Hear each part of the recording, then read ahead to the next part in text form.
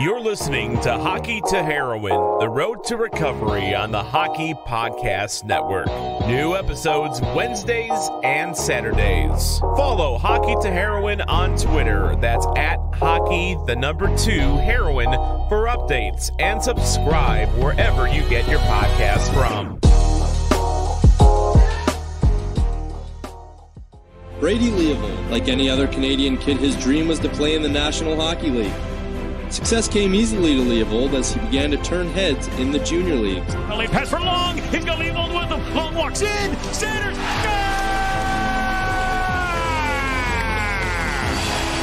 Leavold's a right hand shot rotates and then sends it along back to Leavold.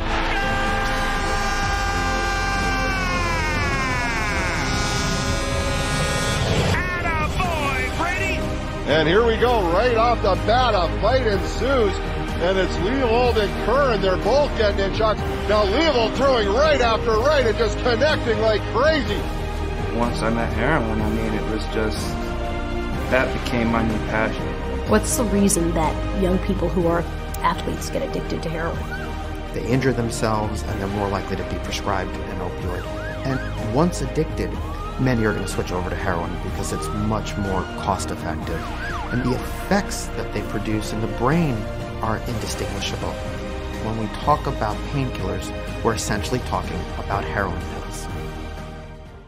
Welcome back to another edition of Hockey to Heroin, the road to recovery. This is Brady Leavold coming at you guys again from Utterson, Ontario, wedged right in the heart of beautiful Muskoka, Ontario, Canada like I said, guys, I'm very lucky to live up here. Uh, had an interview scheduled yesterday, but unfortunately the rain was pounding down. Uh, where I'm at with the studio, uh, once again, of course, I'm in the Matthew Lashinsky studio, Memorial Studio. Uh, I'll say it every podcast Matthew Lashinsky, born in 1987. Uh, this guy was drafted second round in the OHL priority selection draft by the Sault Ste. Marie Greyhounds. He played a couple seasons with them. He battled with mental health and addiction, much like myself. Uh, unfortunately, Matthew Lashinsky lost his battle with addiction in 2017. I never knew him, um, but through this podcast, I've been able to meet uh, so many great people. I've heard so many great stories and so many uh, tragic stories, and this is one of them. Uh, but I was able to meet Matt Thompson, uh, a, a, really good friend of Matthew Lashinsky's, and he shared the story about his friend that passed away. Uh, and I just heard so much of my own story in that. And uh, me and Matt have talked every day since. We've become really good friends. Uh, and over the course of the first few weeks we were talking, him and I decided that we were going to recreate this studio in Matthew Lashinsky's honor. So I had, if you've been listening and following along, I give you guys updates. It's on. It's been on hold for two weeks. Matthew Thompson is coming up tomorrow. I've never even met this guy in person.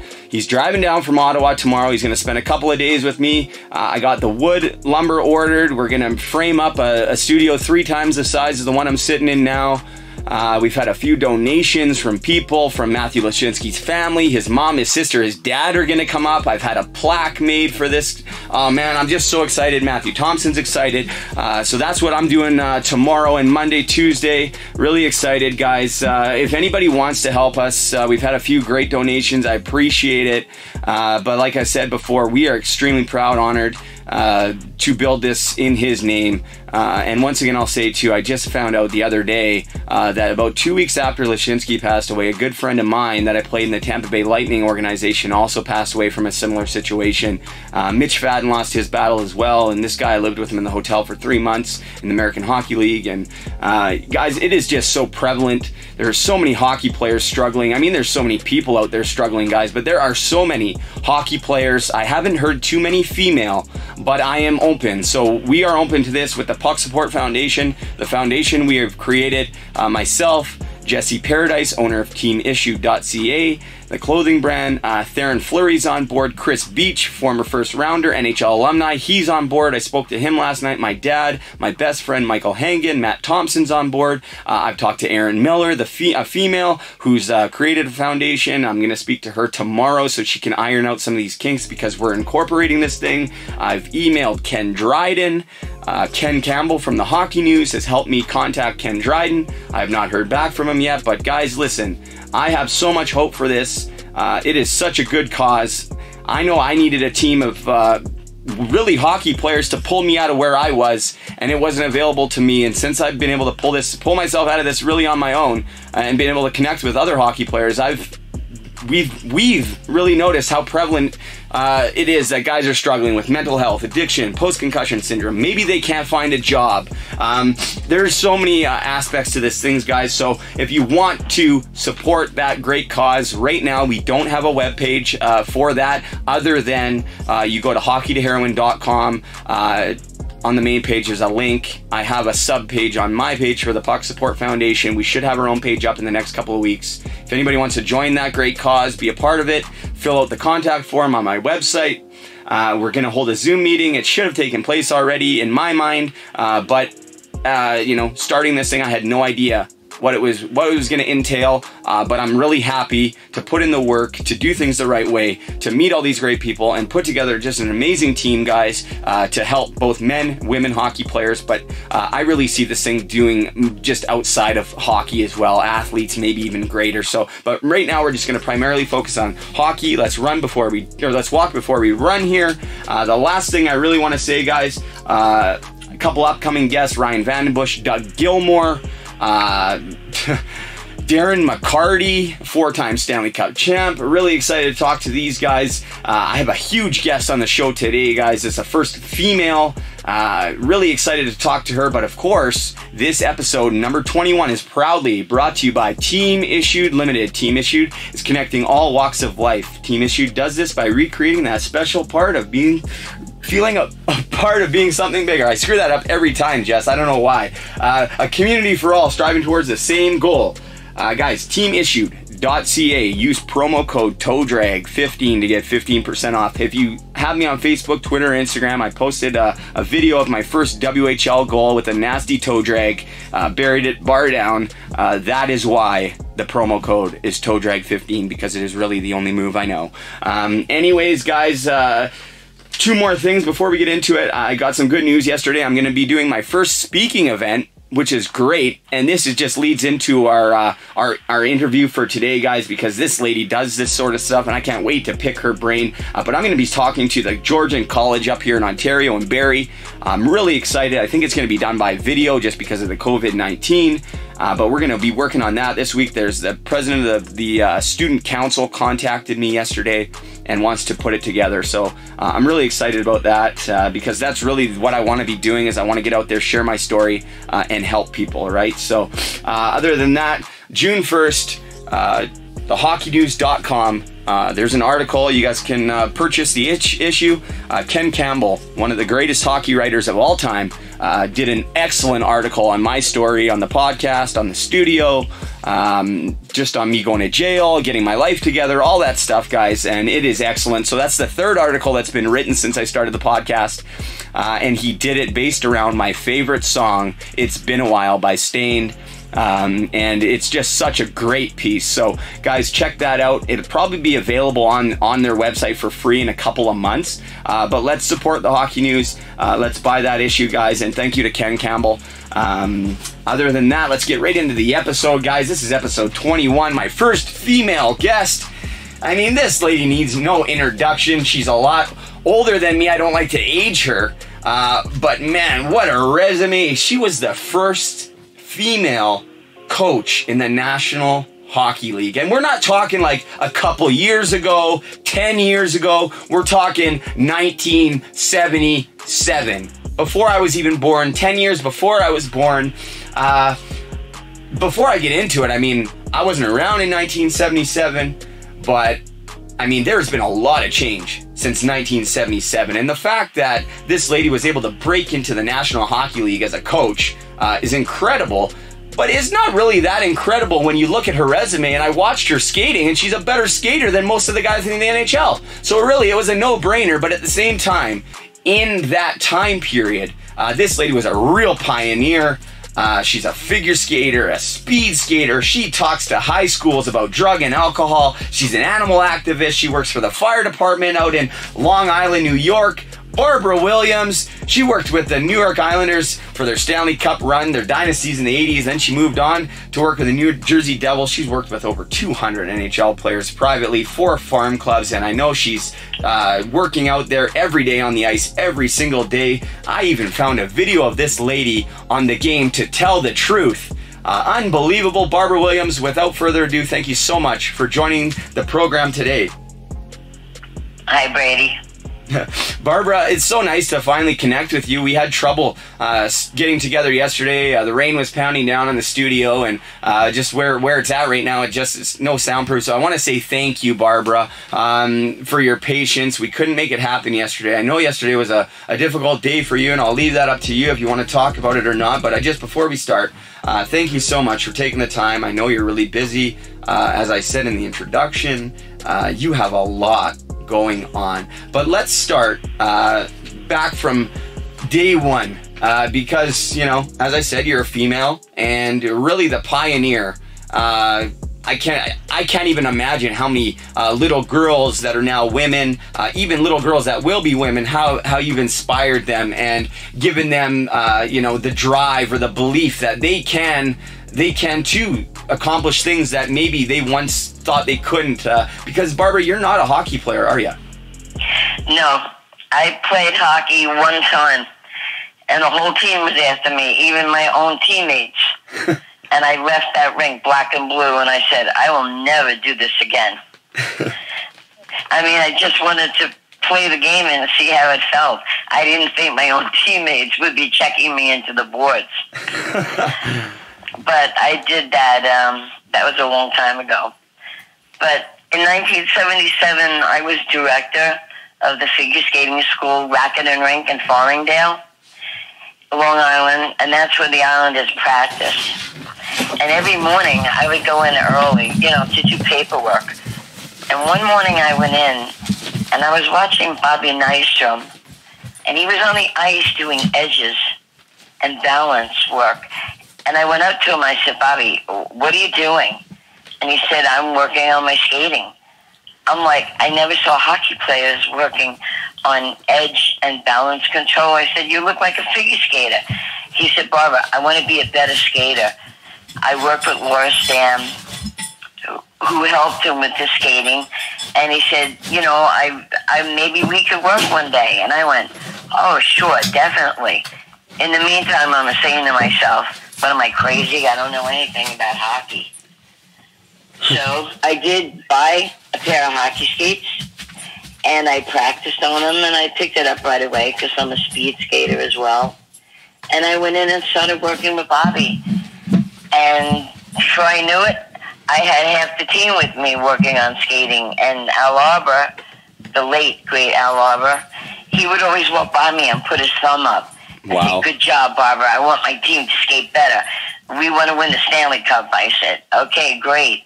I'll do whatever I can. And I got along with all the players. There was never a problem. Um, I had one or two problems, you know, with, with skaters that didn't want to skate with me. Like Eddie Westfall would come in. He was much older, and he would see me on the ice and run out the back door. And when I would see him, I'd laugh. He says, "What do you think? I'm going to have a heart attack at my age? I'm not skating with you."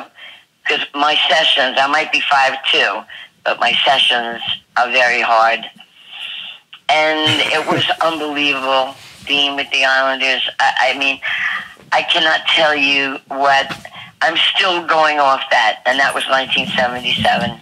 Well, I'm sure you're not the only one going off that, Barbara, but you're you might be the only female uh, going off that, and what an accomplishment that is. I mean, uh, who real? So you mentioned Bob Nystrom, and I mean, holy! I'm sitting here, and when you're telling these stories, and Al Arbour giving you the thumbs up, and I mean, listen, I'm only 32, I'm almost 33, so I really you know, I've only seen. Uh, my dad is a huge uh, hockey guy. He's a scout. He's, uh, he's we had every VHS I'm not kidding. When I say every hockey VHS there is, I swear to God, we had over 5,000 movies and about a thousand of them were hockey. I'm not exaggerating at all, and people that know me can can attest to this. So I'm telling you, that's the only that's the only way that I got to see these kind of things. Right? I have all the legends of hockey and all that stuff. But what an incredible the, the New York Islanders in the 80s, Barbara, and the first like what an incredible story you know like i was telling this uh, you know me and you connected uh, we spoke a few weeks ago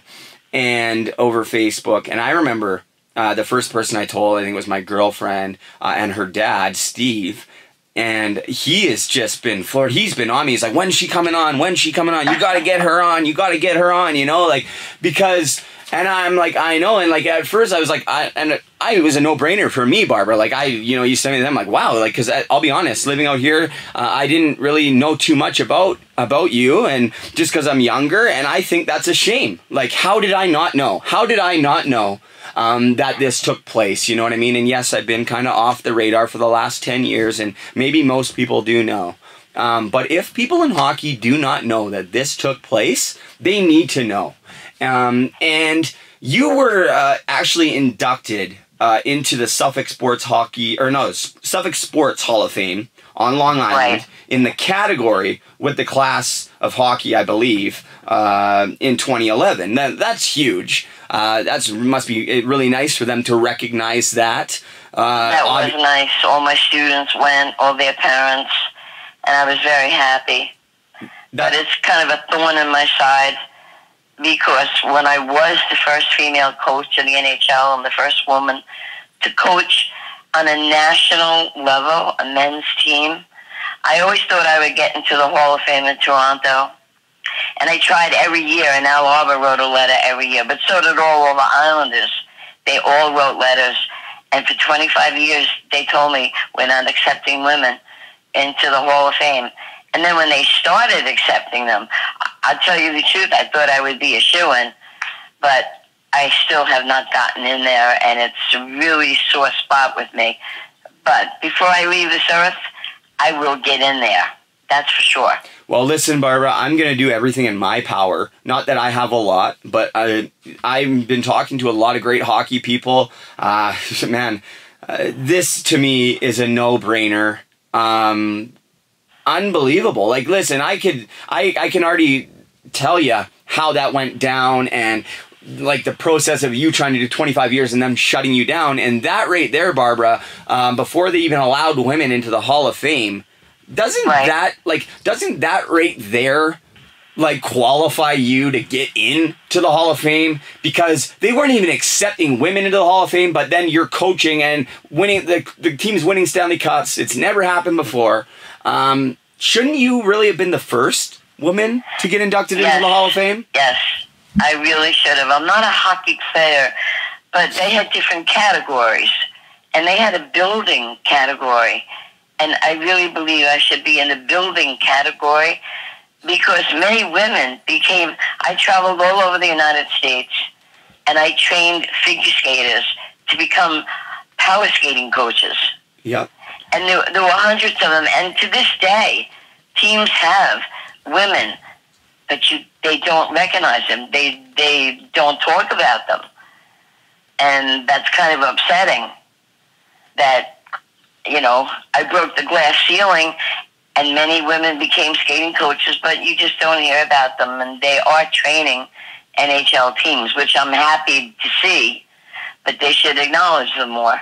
I'll tell you. I'll tell you. I know for a fact they're trading NHL teams, and I was going to tell you this earlier, but I was sa- I, I'm, I'm saving it, and it works really well right now, Barbara. And this is a true story. So uh, there's a really uh, prominent female skating coach uh, where I'm from originally, out in the Vancouver, Canada area. and her name is Barb, too. Her name is Barb Aidelbaum. And she looks just like you. I swear to God, she's a little bit younger than you. And everybody, I'm not kidding. I, I hope she's not listening and she's really nice. But you have to understand that guys probably thought this about you, too, just because your sessions were so hard. Okay? So we called her and I, I hate to say this, and I was a kid, and I didn't make it up, but we called her Barb Ado bitch. Excuse my language. Um, but but listen, she worked with Pavel Bure. She worked with all the Canucks, um, and you know what I mean. So this was, and I'm talking, this is in the '90s. So this is 20 years um, you know, 15, 20 years after you had done it. So, and I mean, and so, I mean, obviously, it's just funny that her name's Barb too, but I mean, she's an incredible skater. And I'm telling you, like,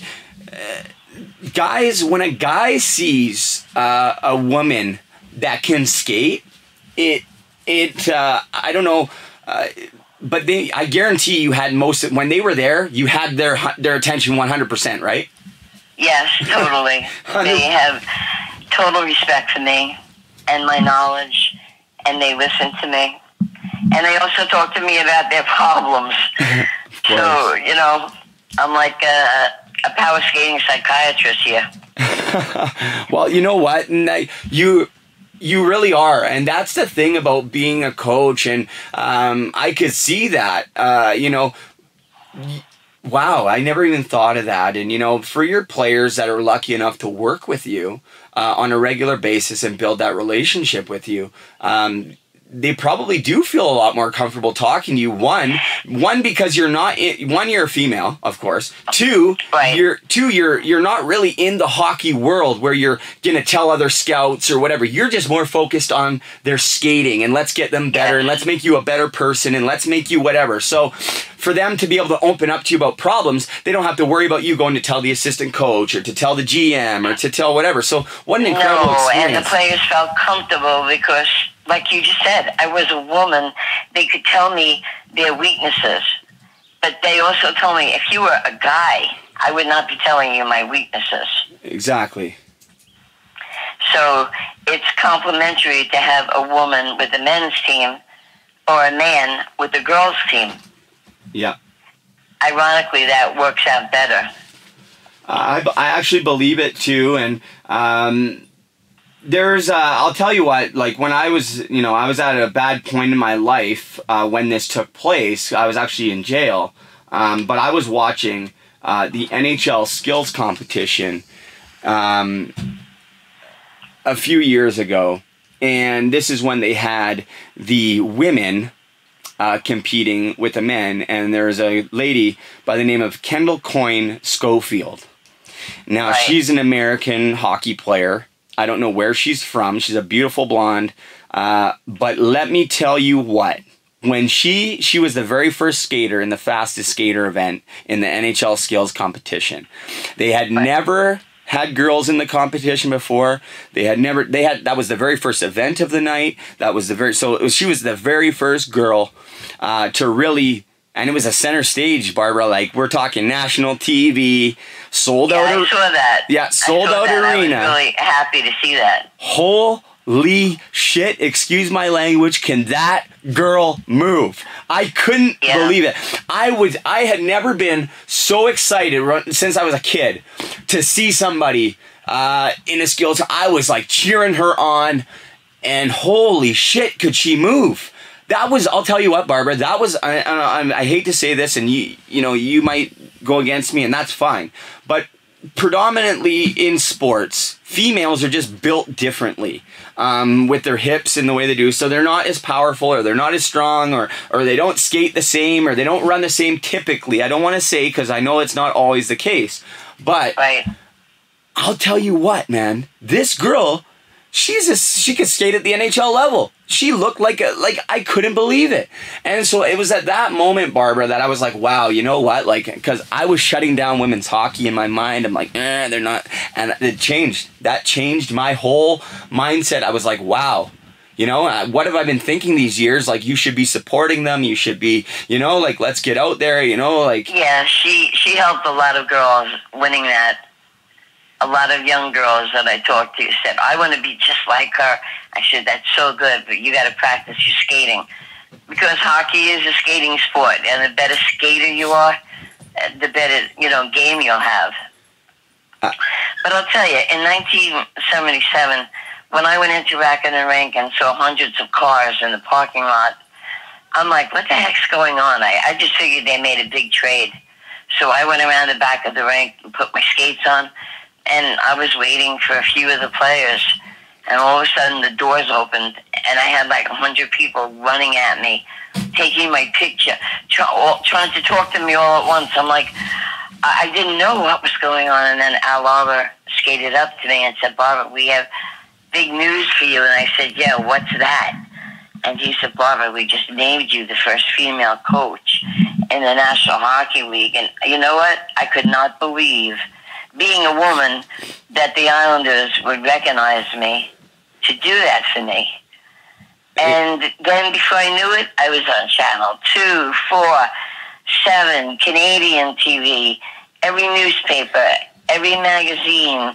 I was just in a whirlwind of of traveling and doing all these things. I got to write my first book, More Power to Your Skating. I traveled on, on book reviews all over the United States. It was the most amazing time for me. And then to see my student—I Bobby Nystrom, win, win the, the winning goal for the first Islanders in 1980, the Stanley Cup. I cannot tell you, I relive those moments in my head so much. I just talked to Bobby like two weeks ago. I, I keep in touch with him. A lot of the Rangers and Islanders gave me um, a crystal, an award. It was beautiful for wow. my Lifetime Achievement Award with, with my work for children. Wow. And it was wonderful. I even got to sit with Messier, and I can't stand the Rangers. but, you know, it was just, I've had so many accomplishments in my life, and they stay with me. But I skate every day still. And uh, Sonny Milano, he was traded. He's with uh, the Los Angeles team. Yep. He was my student, and I worked with Keith Kinkaid and Eric Bergdorf is with the Ottawa Senators, and my Robert Mastrosimone, who just got picked up by Detroit, and he got a full scholarship to DU. Wow. I mean, getting a full scholarship to me is even better than being in the NHL.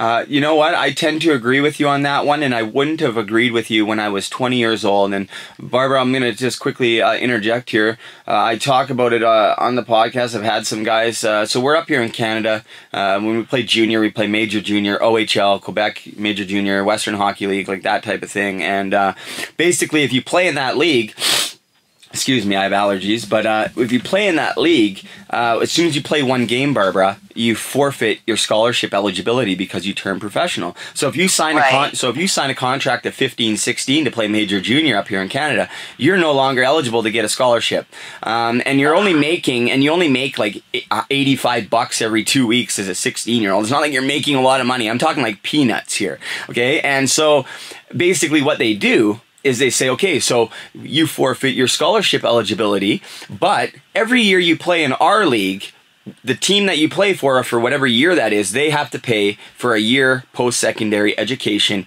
in any uh, a Canadian institute like university, and if you're American down in the states. And now, actually, because of this, Canada's uh, university hockey program has become much better in the last 10 to 15 years, uh, 20 years maybe. But um, at the same time, uh, so you you can get a scholarship in the states, but yes, you are working towards this scholarship money in Canada. But then, if you sign a pro contract, either NHL or AHL, you forfeit all of that schooling. But then, if you go to the ECHL, you have till like January 10th. You get to play half the year, and then you have to make up your mind: Are you going to stay pro or are you going to go to school? And I think that's BS. So I am, you know, yeah, I agree. So I think uh, you know, you know, I loved my time in the Western Hockey League, but listen, to make it to the NHL, to stay in the NHL, to make a living playing hockey uh, for any period of time is pr- is very unlikely, uh, and the chances of having to fall back on something else and, and find something else is 100% whether it's at 20 years old 30 years old or 40 years old. You can't play hockey forever. So you know that's great to hear. I'm, I'm sure like you know you're i can sense that like, yes you, i'm sure you love the game of hockey. It's kind of evolved into your life and the players um, but i could see that your relationship with the players in hockey is, is more personal. And like you said you, you focus on your yes. skating. The last i act- really believe in education totally. Well i and the younger the players are getting younger and younger but their careers are also over earlier than it used to be yeah. Players used to play till late 30s, even early 40s. Now these kids are down, they're back down in the AHL in their early 20s. you must have a backup with your life, Yeah. and it's got to be school.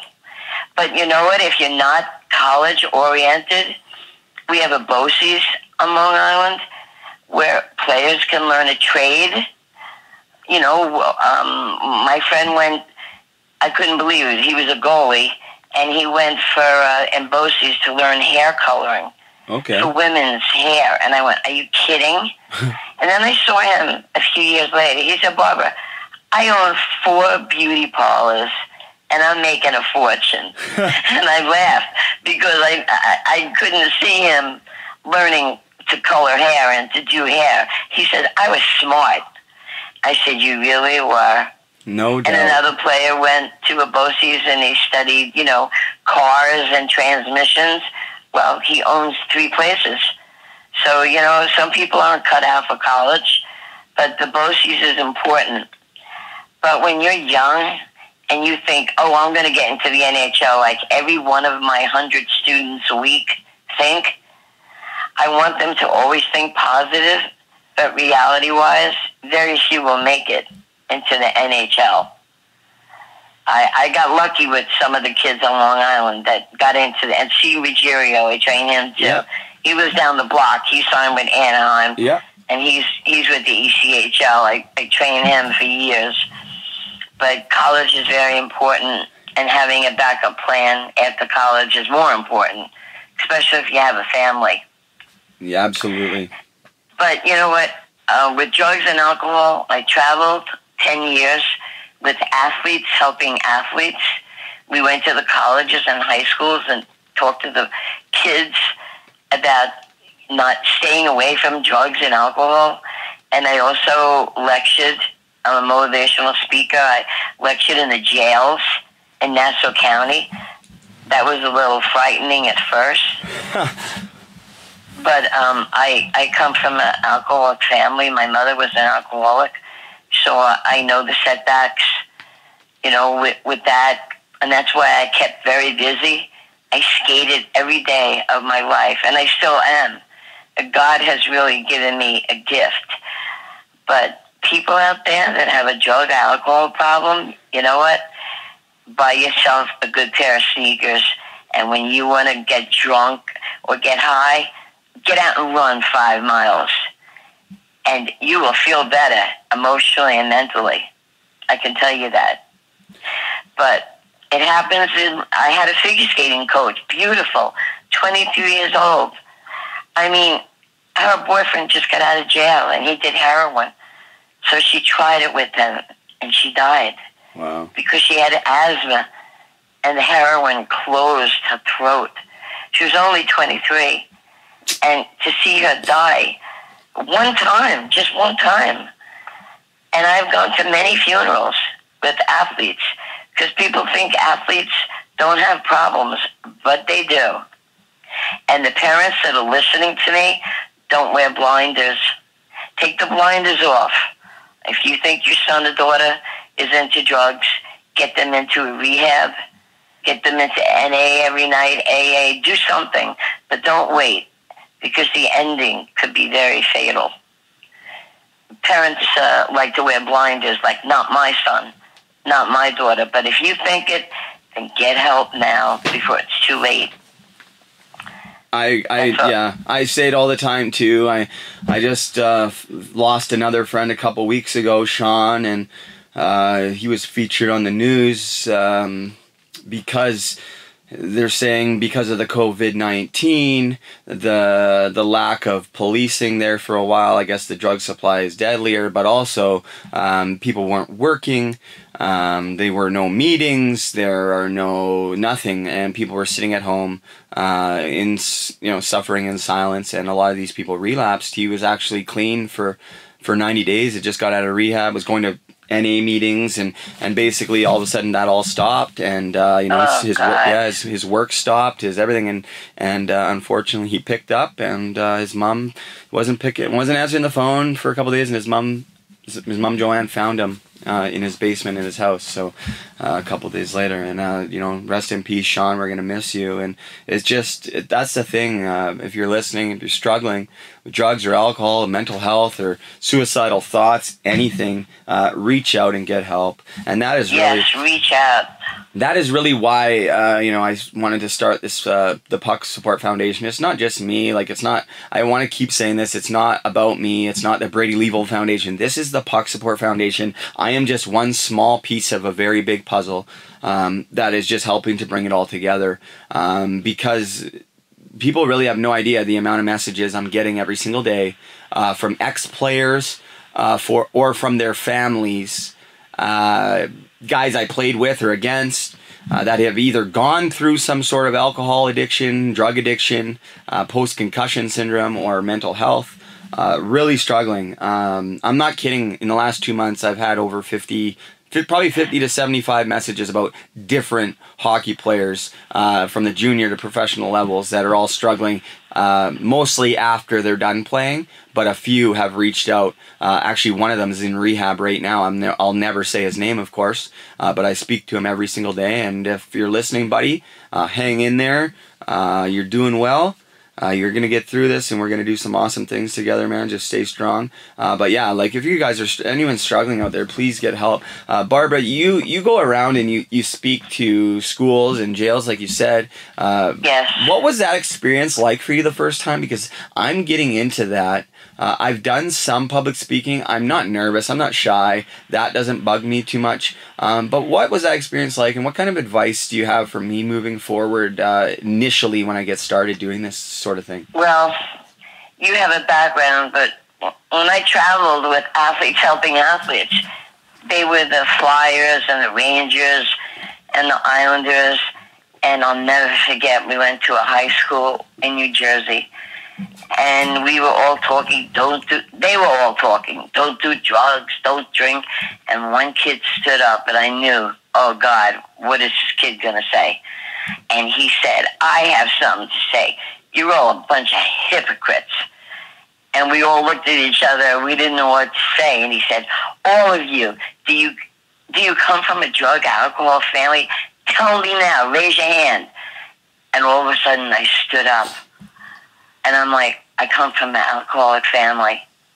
I had many ice shows that I took a taxi to because no one came to my ice shows. Or I was waiting in a dark parking lot all night for my mother to pick me up, but my mother was drinking. And I said, I lived it. I lived the horror that you lived.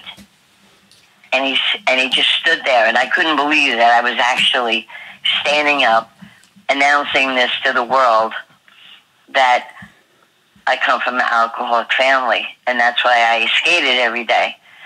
My two brothers were not so lucky. One of them passed away four years ago, um, cirrhosis of the liver from drinking. Sure. And my other brother, right now, is in a rehab in Florida. I must have paid for eight rehabs. But when do you learn? You have to take care of yourself and take care of your life. And that, that boy that stood up, he waited till it was over and he came up to me and he said, Thank you so much for standing up and, and you really helped me because you, you reached out to me. But now with this virus, reach out to somebody, even one person, get a sponsor that you can just talk to and say, I want to do drugs. I want to get drunk tonight. You got to reach out to somebody, even though, you know, a lot of the places are closed because of the virus. I, I lost nine, nine friends, and they were all in, believe it or not, they were all athletic. The virus is dangerous. You have to be careful. But that, that boy stayed in my mind.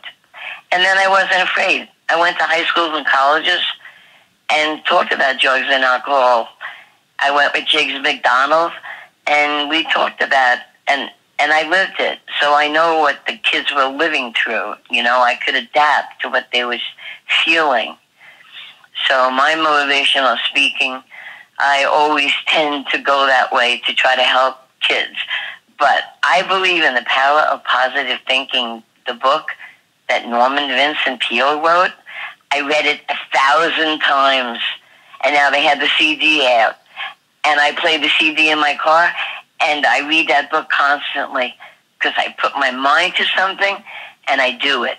I accomplish it because I, I believe in myself. That took a long time to do that, you know. But if you go on my website and you see my hockey brochure, it says right in it, I talk about bullying, uh, positive thinking, self-esteem issues, and drug and alcohol issues. And it says it right on my um, the flyer that I have on my website because that's more important to me than even the skating. Because after lunch, the kids sit with me an hour a day, and I talk to them about drugs and alcohol and what it can do. And uh, that's God has left me on this earth because of my career. I get to work with thousands of kids, but I always talk about I talk about God and I talk about drugs and alcohol, and that's why I'm on this earth. My my son passed away four years ago from bilateral pneumonia, and I pleaded with God, take me, don't take my son, please. But God had other plans, and I have great faith. I have very strong faith, and I know why I'm on this earth to touch children's lives and to form them into thinking positively and good about themselves. So all of those things are very important to me. Of course, I, I train great skaters that get in the NHL and the AHL, but again, I'd rather see them get that college scholarship. Yeah, I like we talked about it. It's really um, going to give you a lot more value later in life, and I wish I some something in about that whole situation makes me wish that I would have went the college route. But I can't again. You can't go woulda, shoulda, coulda. Um, oh yeah, I believe. I always say that. Woulda, shoulda, coulda. That's funny you say that. Yeah. But you know, the power of the positive thinking is something that I truly believe in. I'm gonna actually look into that book. Uh, I'm big. Oh, I love it. I, I love it. I'm big on the secret, the law of attraction. I mean, I wish I practiced it more, uh, but now. Actually, uh, uh sorry. Like you know, when you set your mind to something, when you keep saying, when you set a goal, uh, and you keep you know seeing the picture of it or, or hearing it and you keep just reinforcing that um, yes. things do happen like incredible things um, and that's very much the way that I feel right now with everything that's going on in, in my life with the podcast, with this foundation, with the book I'm writing, um, just with everything that's going on. Well, you're helping so many people and they're listening to you. Well, uh, you know, and that's the thing is, you know, I went through hell for the last uh, whatever 12 years well even longer really because i was suffering in silence about some of the sexual abuse that happened to me as a kid and just whatever. But at the same time a lot of people go through worse things. Uh, but barbara i'm telling you like i was at the point where i really didn't give a two craps about um, you know, I thought that I was never going to get out of it. I thought I was going to be in jail, in and out of jail for the rest of my life. I thought I was going to be using drugs for the rest of my life. There was no point. I could never stop. Um, there's nothing else out there for me. Nobody will, uh, nobody will support me. Nobody will talk to me again because I've, you know, just lied and stole and cheated and done every I know, low but life. When you think that way, that's the kind yes. of life that you'll have. Yes, hundred percent. Got to think positive about your life. Do something with your life, and you're doing it. You're doing a great job. God wants you to have this podcast and talk to people to save their lives.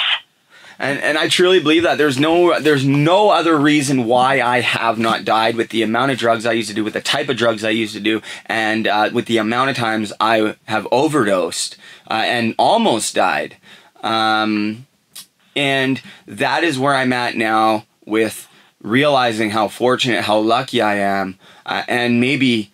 Uh, not maybe it's not even maybe Barbara. You know, I I read uh, on the last two podcasts a couple journal entries from jail just at the end because I was writing a lot, and I talk about how I found God in jail too. And everybody has a different understanding of God, and I don't try to push any one belief on anybody. My belief is my belief. Uh, yes, right. I'm, Chris- I'm Christian, but I'm not going to try to push it on nobody. Um, but uh, you know, it's just kind of interesting. You know, I, I obviously was at the time where I knew I needed to find myself, go in a different direction. I really had no idea what it was going to look like. Uh, even when I got out, I didn't know what it was going to look like. And I fell back into my old life for a short period of time.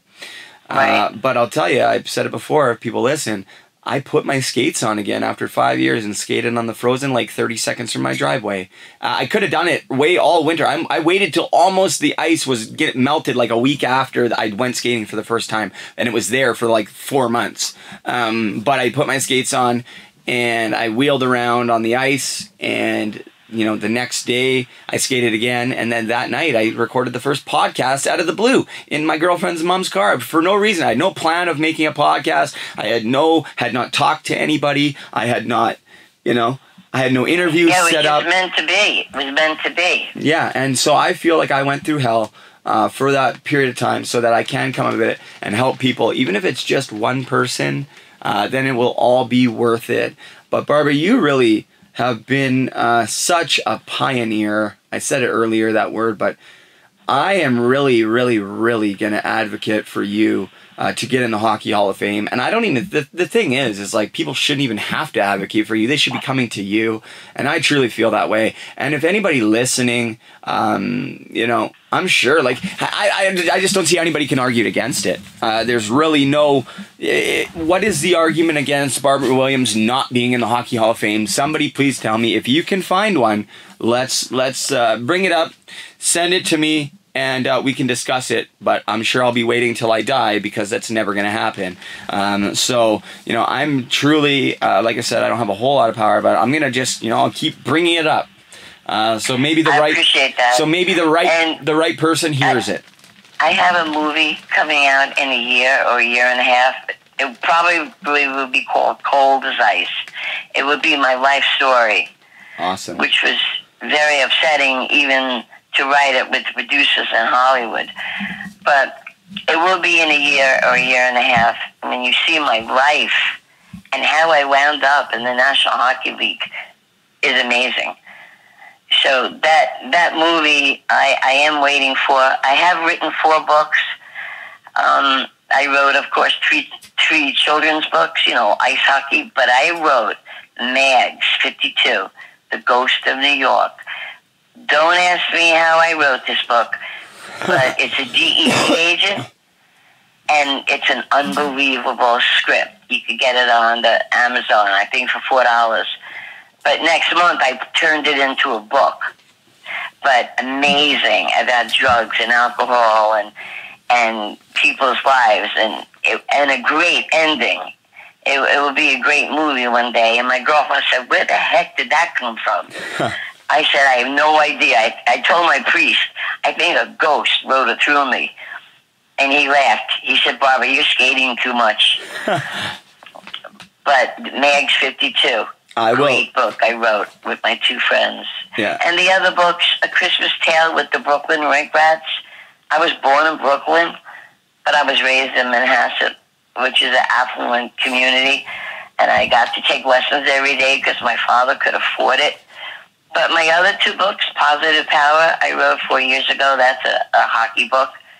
And More Power to Your Skating, I wrote when I was with the Islanders. And you also are writing a, a book, She Shoots, She Scores, a national publication for uh, famous women in hockey. Is that correct? yeah, I was in that. Okay. I was in that book. They devoted a page for me. She shoots, she scores. Okay. And I did the the NHL Network last month. It was funny having two women interview me. Yeah, Tara so Slone. used to men interviewing me.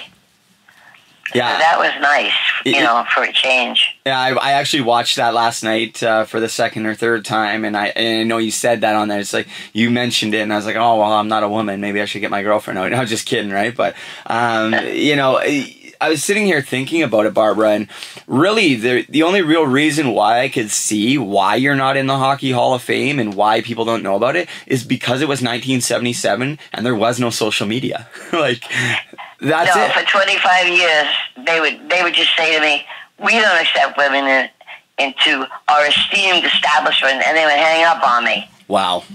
And then when they did accept women, I, I told Al, "I'm going to be a shoe in now," and and I wasn't in. But you know, there are a lot of Canadians on that board. I'm not saying they were anti-USA for me, but I deserved in my heart to be a, to be in there. Absolutely, 100%, Barbara. Not even just, like you said, uh, I'm glad that you mentioned uh, the more background story because, yes, you were the first female coach in the NHL. But, Barbara, after that, you actually went around, like you said, across the states and started teaching women figure skaters to teach power skating and Yes. and that so that to me right there uh, is more than working with the Islanders. Like you went and touched the entire country, or maybe not the entire country, but a good portion of the country, and you really almost uh, invented or reinvented uh, the power, Power skating. skating. Yes. But even to this day, I, I train. I train right now with uh, six girls on Long Island, and I trained ten last year to become skating coaches. They work with me. They watch me. They observe me. They listen to what I say to the players, and they thank me every day. They have great careers. Yeah, see, this is just, I'm shaking my head, and uh, yeah, I just think that with, uh, yeah, with everything, like, I just, it is a no brainer. Who the hell can argue against that? Like, what the hell is going on? If anything, the thing is, Barbara, And you know, I went to get a new pair of skates because I, I needed a new pair of skates. I went to CCM, the store near me, and they actually would not give me a pair of skates. I went, Are you kidding? I train thousands of kids. I'm on the National Hockey League Network. You're not going to give me a pair of CCM skates? Why? I couldn't believe that. I mean, I have never bought my own skates because I'm a National Hockey League coach. Yeah, But CCM, the guy said, uh, "No, we can't. You ha- you have to buy them." I, I went, "No way, am I buying a pair of skates?" I still can't believe. Uh, I forgot his name, Richard Blackshaw, who owns CCM. I hope he's listening because he lives in Canada. well, I have a friend that works for CCM, so he's a rep for them, so maybe I'll uh, shoot him a message. Yeah, tell, but, tell them. but I I, have hockey schools all summer, and people look at my skates. And when I do the movie, when we shoot it, they won't be wearing CCM skates. That's for sure. Well, Barbara, listen, I don't know if you've ever heard of Verbero Hockey, but this is Andy Sutton's new company. I'm going to send you the link. These are a brand is a it's a the company's been around for a decade, but Andy Sutton, former NHL, he was a, a guest on my show episode 19. Um, but he, uh, you know, he played in the NHL for 13 years, and now he's invested this money uh, into Verbero hockey, and they call it the Bugatti of hockey. I'm gonna order a pair of their skates. Like, these skates are apparently unbelievable. Like, so much science and technology has gone into it. So I'm kind of curious. Maybe I should uh, talk to him and uh, message him and see if I can't help you out with that. Because I mean, if you need skates, and like you said, if you're gonna be doing the video, like he's trying to get the brand out there, and I'm telling you right now, their their their equipment is unbelievable. So I'm gonna I'm gonna actually shoot him a text, uh, maybe put yeah, you in contact him with him. definitely, uh, te- you know, text me. For sure, I will, Barbara. I know you have uh, a busy day. I know it was a hard day for you yesterday. You mentioned that your son passed away. Yesterday was a four year anniversary. I'm so sorry for your loss. Um, Yeah. You know, stay strong, Barbara. You are really helping so many people. You've helped so many people. Please continue doing what you're doing. I know you don't need me to tell you that, um, but stay safe. Uh, I am really, really, really gonna advocate for you. It may not be me, but I'm gonna keep mentioning it to people, and uh, I know, like you know, somebody is gonna really help you get in there because it's just. fuck, Like real, real shit. They should be coming in and knock on your door and be like, "Hey, Barbara, I'm sorry. Here you go." Because it just isn't right Yeah, in my the, the builder category I see myself in because of helping millions of kids Absolutely. all over the United States and Europe. I should definitely be in that building category. And that would really help me because, you know, one of these days I will hang up my skates, but not now. I, I train 100 kids a week and I have hockey schools all summer with hundreds of kids. But I like the motivational speaking. I like doing that. And I'm an animal activist. When I hang up the phone, I have to go feed 20 cats Wow. they they sit there waiting for me. But somebody's got to feed them and get them neutered and give them homes That's because they're feral. And I hope the people out there will be kind to animals, the birds, the squirrels, the feral cats. Give them something to eat. You That's know. right. That's right. We uh, actually Taylor, my girlfriend, actually went and rescued uh, a couple baby robins. Uh, her aunt actually found them, and Uh, she was able to rehome them. One of them did, unfortunately didn't make it. Like they were they were like literally a day old, um, but they were able to save the one. So that's really great. Uh, I'm a huge animal guy. I got my little puppy. She's my she's my girl. Um, but I do before I let you go. Uh, I have a couple questions just from the listeners, if you don't mind. Um, Okay. Uh, David Carlson, uh, who is just uh, a great sense of support for me. I don't know him personally, just uh, speak to him on Facebook. He's always uh, listening and uh, supporting me. He's got a couple questions for you. He says, um, Since I own a skate shop, I would be very interested to know what blade hollow Barb uses. I always recommend a shallower eighths. That's what I skate on too. He says, I always recommend a shallower hollow. I skate on 7 8 hollow, but everyone has personal preferences. Thank you, Barbara and Brady. So uh, before we talk about this, she said 5 8 I skate on 5 8 as well. Um, Right. David Carlson owns Sniper Skate Sharpening and Profiling. Uh, that's in Spruce Grove, Alberta. So if you're listening, Spruce Grove, Edmonton area, uh, guys, support him. Uh, once you guys uh, need your skate sharpened, getting back on the ice, when things start opening up again, uh, you can visit his uh, Facebook page, facebook.com slash sniper skate shop. Uh, so yeah, Barbara five eights, uh, guys. The hollow. And I have that in my book, Positive Power. I talk about the profiling.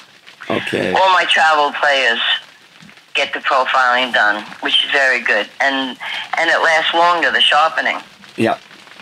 And all my rec league kids, they just get their skate sharpened every three or four times. Yep. Have you ever heard of this uh, V sharpening, or I, I don't know what it's called? It's like this new form of sharpening that, uh, but it's incredible. I've only skated on it once, and as soon as you step on the ice, you just instantly glide. It's really wild. Uh, I'll send you a link to it. Maybe you could check it out. I, I was curious as to see yeah, what you thought of as soon as I get on the ice, I I glide right away. Oh, I believe it. You you are Thank God, God gave me this gift. I could fly down the ice.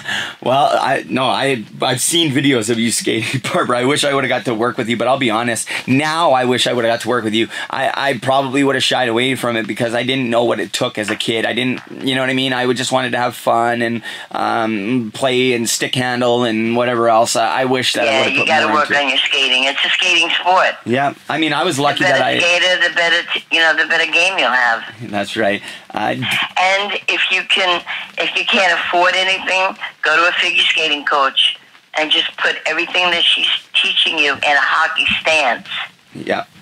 and that will help. Figure skating is so uh, for edge control. Uh, Jeff Skinner is Yes. uh, one of the best skaters in the National Hockey League. He did figure skating. Uh, David Carlson wanted to know if he was one of your students. I don't think he was, but um, next question again, David Carlson. Uh, he just wants to know who, in your opinion, during your incredible career, is the best skater, i.e., use of edges, efficiency, and powerful strides uh, that you have either seen or taught personally. Well, I watched. I believe it's Connor McDavid with the Oilers. Oh, Connor McDavid, yeah. Connor McDavid and Dylan Larkin with Mm. Detroit. Both very good skaters. Yeah, they are. They are probably two of the best skaters. Um, Yes, very good. I watched. I watched them. The little I do watch on games because I teach it every day. When I come home, I don't want to watch a hockey game, but I have seen them skate. I was very impressed with their skating. There's uh, Dylan Larkin, I believe, set the record for fastest skater in the skills competition. Then Connor McDavid broke it, uh, and then uh, a, a kid I used to coach, uh, the best player on the New York Islanders, Mathew Barzal from my hometown. He, oh yes, he won the fastest skater last year, and He's I, a great skater. fast, unbelievable. Uh, I told talked He's like about a mouse and a rat. He just he just goes down the ice. yeah, he's he's wild, and I skated with him. Agility and timing is excellent.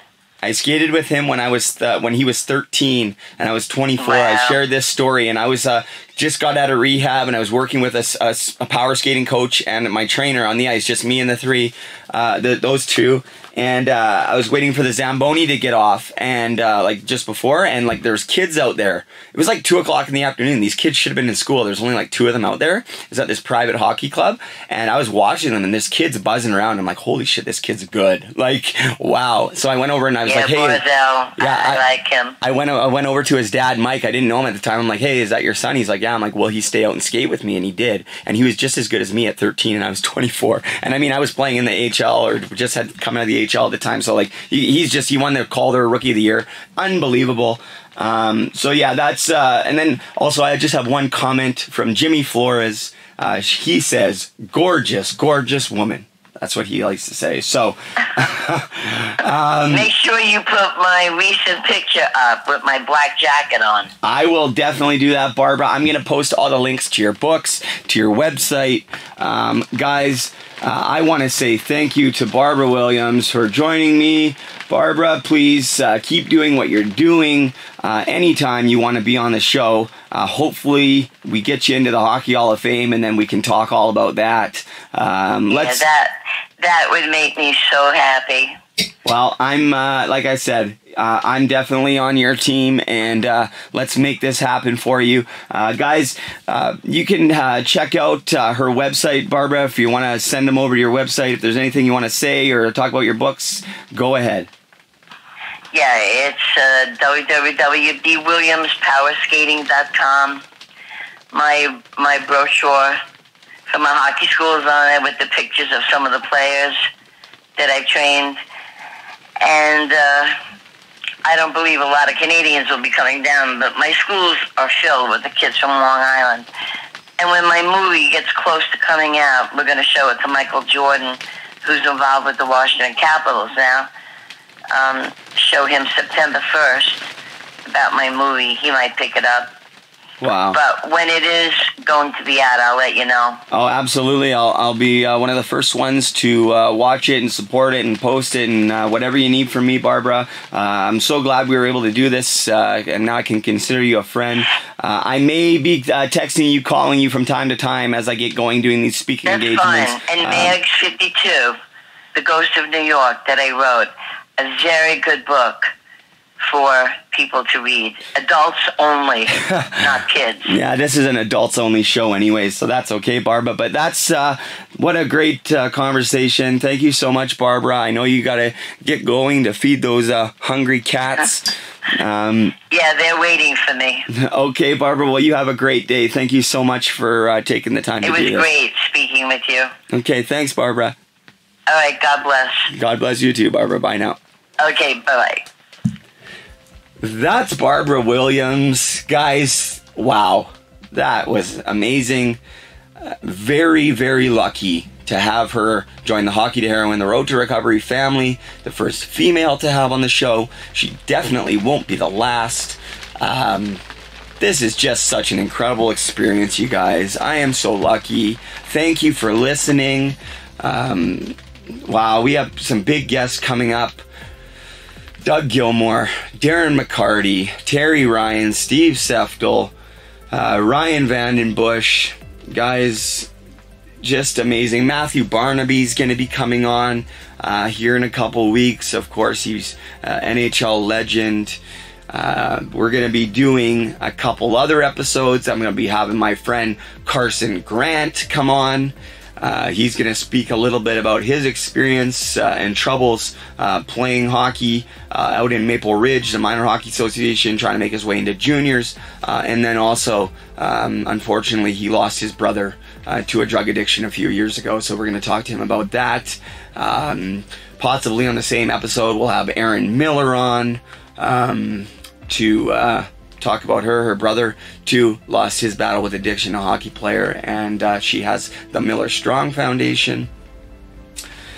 Really excited, guys. Uh, tomorrow, Matt Thompson's coming up. Uh, this guy's awesome. Uh, really uh, has become a great friend to me. Uh, we talk multiple times throughout the day.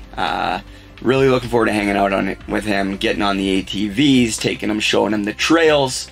Uh, yeah, I don't have a whole lot of friends up here, so it's just me with Taylor and the kids, which is great. But it's gonna be nice to uh, meet him uh, and get this studio built in Matthew Lashinsky's honor.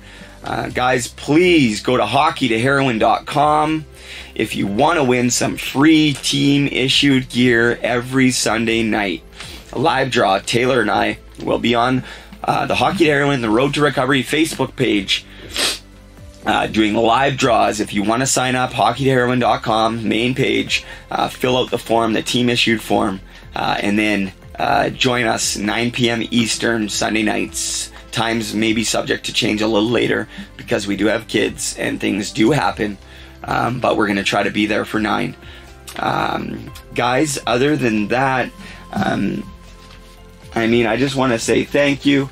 I'm not going to read uh, the journal entry. I hope you guys are enjoying it. I haven't heard a lot of response, uh, so that's why I'm going to stop doing it. Um, possibly do it uh, once every four episodes or try to work out a schedule if you guys are enjoying it. Uh, but I haven't got any feedback on it quite yet. So uh, for now, I'm just going to put it on pause. Um, but also, too, uh, there is a new feature on the website, on the homepage. Uh, please scroll all the way to the bottom and leave me a voice message. I'm going to play these voice messages back on the podcast. Uh, maybe you have a question for me. Maybe you have a request for a guest. Uh, maybe you have some positive inspiration, inspirational words for me, uh, or some constructive, hopefully, criticism. Because uh, I'd love to hear from you guys. Uh, I love the Facebook comments, the Instagram comments. Find me on there at Hockey to Heroin. Follow me, of course. Uh, support the Puck Support at Puck Support on Twitter and Instagram. guys, thank you once again so, so much. I'm really looking forward to talking to Darren McCarty this week. I believe that's going to be the next episode, him or Doug Gilmour. Um, but guys, just remember if you're struggling out, struggling out there, please reach out, ask for help. If not to me, to somebody else. Uh, it's a very dangerous world with drugs and alcohol, guys, and uh, I've been to enough funerals, so guys, let's just uh, work together, stick together, and remember, have a great day if you so choose.